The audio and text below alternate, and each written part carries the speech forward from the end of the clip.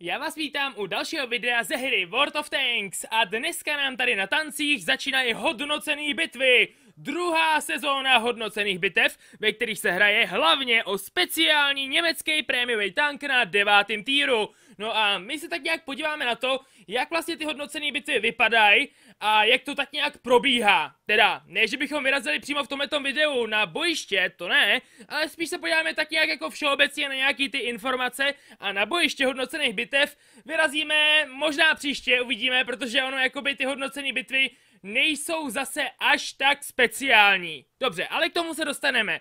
Ze všeho nejdřív můžete vidět, že já ještě ani bitvu spustit nemůžu, jo? Mám tady sice mýho objekta se speciálním maskováním za hodnocený bitvy za tu první sezónu, za bronzovou ligu, ale ještě spustit bitvu nemůžu. To je kvůli tomu, že tohle video natáčím ve chvíli, kdy ty hodnocené bitvy ještě nezačaly. No ale už tady máme napsaný ty časy, kdy se vlastně hraje a že sezóna končí za 20 dní, takže je 20 dní na to, abyste odehráli hodnocené bitvy, pokud chcete získat ty nejlepší možné odměny, jaký kdy ve World of Tanks byly. Máme tady napsáno, že bitvy s vozidly desáté úrovně podle pravidel standardních bitev. Týmy se budou skládat z hráčů s více-méně podobnou hodností. Ano, oni to jsou totiž vlastně normální bitvy s desátýma týrama, 15 proti 15, a prostě normální mapy, normální bitvy. Akorát, že jsou tam prostě jenom desítky, jo? Nemůžete tam mít devítky ani osmičky, nic takového, jenom desítky. Takže jakoby v tom je to asi jediný tak nějak jako opravdu zvláštní ty hodnocené bitvy, že jsou tam jenom desítky a to jako až tak zvláštní zase není, takže hm, kvůli tomu právě přemýšlím, jestli je budu natáčet. Možná jo, možná ne. Napište mi do komentářů, jestli byste chtěli, abych natočil video přímo z těch samotných hodnocených bitev, uvidíme. Když to tam napíše hodně z vás, tak určitě nějaké video natočím. Tak, ale co tu ještě můžeme teda najít? E, tyhle ty hodnocené hry začínají ve 13.00 dneska, jo? To znamená, že já tohleto video teda natáčím dřív, jak můžete vidět, a ve chvíli, kdy tohleto video vychází, kdy vy na něj koukáte, tak hodnocené bitvy už probíhají. Takže pokud o ně máte zájem a chcete si je zahrát, tak hurá na bojiště! Třeba se potkáme. A teď pojďme v rychlosti na nějaký ty pravidla. Tentokrát teda ty hodnocené bitvy jsou trošku jiný. Kvalifikace, třetí divize, druhá divize, první divize. Počkat, to je vlastně úplně stejný jako při první sezóně, ale ne tak úplně. Třeba kvalifikací projde každý, kdo odehraje 20 bitev. Vlastně v kvalifikaci je to jedno, jestli získáváte body nebo ne. Teda bylo by to jedno, jenomže ty body, které získáte, ty prímky, které získáte v kvalifikaci, určují, kolik dostanete bonusových bitev. To jsou takový ty bitvy, za který máte potom dvojnásobek prímků. Doufám, že aspoň teda trošku znáte hodnoceny bitvy a víte, o čem tady mluvím, že jo, získávají se prímky, ztrácejí se prímky a vaším úkolem je získat co nejvíce prímků a dostat se až na konec. V kvalifikaci se dřív postupovalo od první úrovně až na 15. To už teda teďka není, prostě odehrajete 20 bitev, ať už budou jakýkoliv, kvalifikací projdete, a získáte nějaký bonusový bitvy podle toho, jak jste v kvalifikaci byli úspěšní. Což je podle mě líp jako udělaný a víc to sedí k tomu, že je to vlastně kvalifikace, takže to je za mě dobrý a navíc je to jednodušší. Divize potom vlastně jsou úplně stejný, jako už byly při první sezóně. Akorát, že jsou jednodušší v tom, že tady je víc záchytných bodů a úrovní, který nemůžete ztratit. Což je dobrý, že jo? To se prostě hodí. Jsou to úrovně, na který se dostanete a nemůžete je ztratit. I když byste měli ztratit prímky, zůstáváte na té úrovni. No a pak tady jsou aspoň štít ty, že jo, ty jsou tady na konci na 12. úrovni, tady na 13. a tady vůbec nejsou, takže postup přes třetí divizi by měl být velmi rychlej a velmi jednoduchý.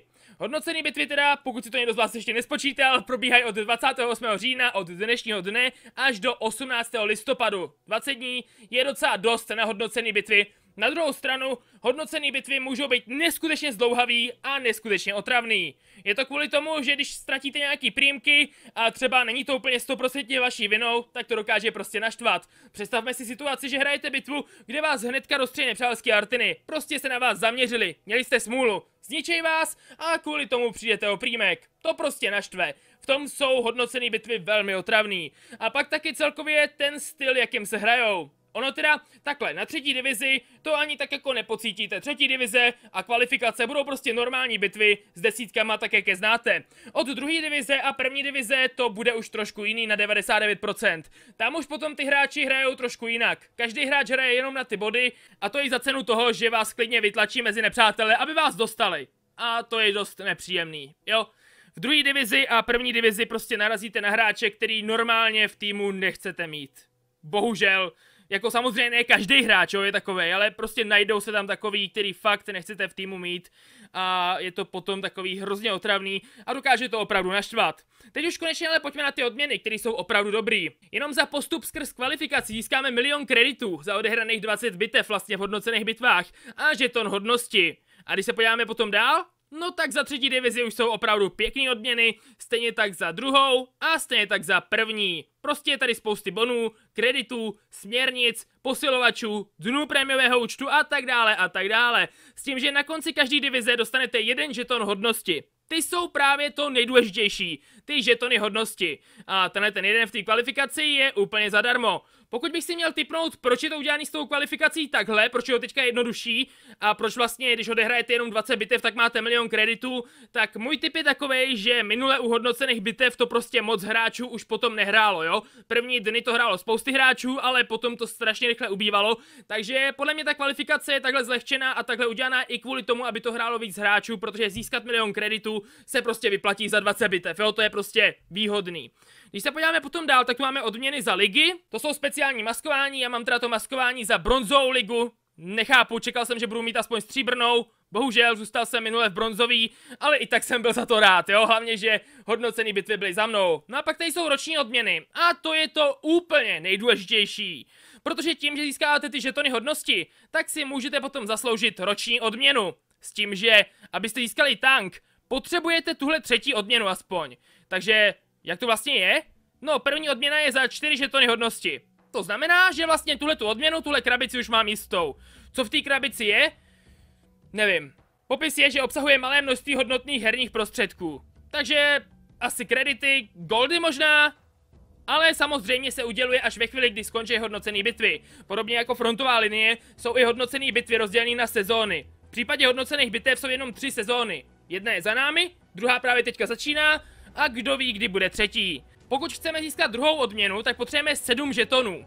Pokud chceme získat třetí odměnu, tak 10 žetonů a za to už získáváme to speciální vozidlo. Takže tohle je můj minimální cíl. Získat 10 žetonů, abych mohl tenhle ten krásný tank si přidat do mojí garáže hnedka vedle AEP1.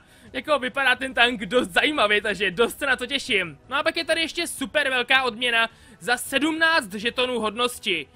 17 žetonů hodnosti? To je jako fakt hodně, bych skoro přísahal, že když se hrála první sezona, tak to nebylo 17 žetonů hodnosti, ale dobře, já mám pocit, že tady bylo nějakých jako 12 nebo něco takového, ale to si nejsem teďka úplně jistý, to už si nepamatuju. 17 žetonů hodnosti, pojďme rychle počítat. Takže, v těchto těch hodnocených bitvách můžeme získat 4 žetony. Já už 4 mám. Takže můžu mít 8 žetonů, když tohle dokončím až do konce, když dojedu první divizi. No a v poslední sezóně taky můžu získat vlastně další 4 žetony. To vychází na 12 žetonů, který podle mě tam původně byly tady na té odměně, ale to dobře. Je jich tam teďka 17. Možná se fakt pletu, já teďka nevím, jo.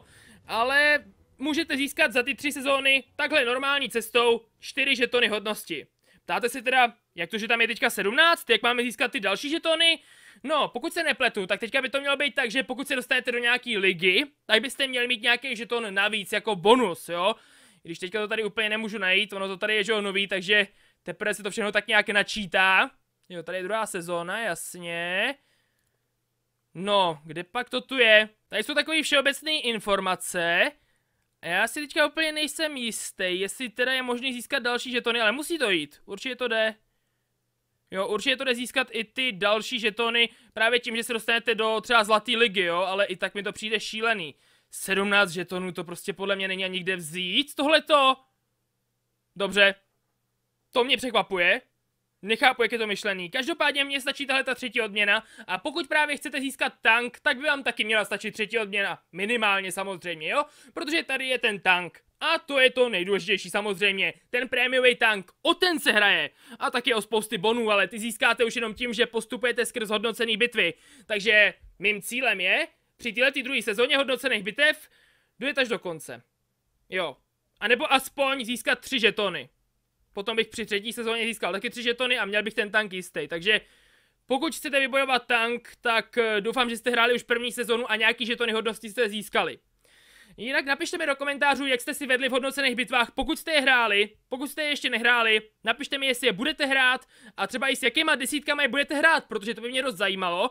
No a i když jste první sezonu třeba někteří z vás nehráli, tak eh, teďka se třeba možná ptáte, no tak když jsem nehrál první sezonu, vyplatí se mi vůbec hrát tuhle tu druhou sezonu? Ano, vyplatí, protože ty odměny jsou moc pěkný, to je jako fakt, ty jsou super, takže i pokud jste prostě nehráli první sezónu, třeba nemáte tak velkou šanci na ten tank, ale i tak ty odměny, které tady jsou, jsou fakt pěkný, jo, takže i tak se to vyplatí. No uvidíme, uvidíme, jak se mi bude dařit, jak budu postupovat dopředu. Viděl bych to tak, že asi po každém postupu, vždycky jako když dokončím kvalifikaci nebo nějakou divizi, tak natočím kratší videjko, podobně jako to bylo u frontové linie, kde vám řeknu takové moje pocity z toho, jaký to bylo prostě a čeho zajímavého jsem si tam všimnul. Já si myslím, že to by mohlo být docela dobrý. No a tohle jsou hodnocené bitvy. Oni jsou vlastně jako normální bitvy, akorát, že prostě potom od té druhé divize veš to začíná být fakt drsný a je to boj. Je to boj nejenom s nepřátelema, ale bohužel i se spojencema. O to, kdo získá ty prímky. Kdo se probojuje dopředu. A ta rivalita mezi hráčema tam je neskutečná. No, třeba se na to někdy podíváme. Z tohoto videa už to ale ode mě bude všechno, takže já doufám, že se vám tohleto video líbilo, že vám přišlo zajímavý. Pokud ano, dejte palec nahoru, prostě ohodnoťte tohleto video lajkem. Pokud byste mě chtěli podpořit, dejte odběr, anebo tohleto video můžete sdílet. Napište mi nějaký superový komentáře, napište mi, jestli jste hráli první sezónu, pokud ano, jak jste si v ní vedli a jestli budete hrát druhou sezónu a jakým tankem. Já si vaše komentáře jako vždycky pročtu a budu se na vás těšit zase u nějakého dalšího videa, třeba přímo na bojišti hodnocených bitev. Takže zatím čau!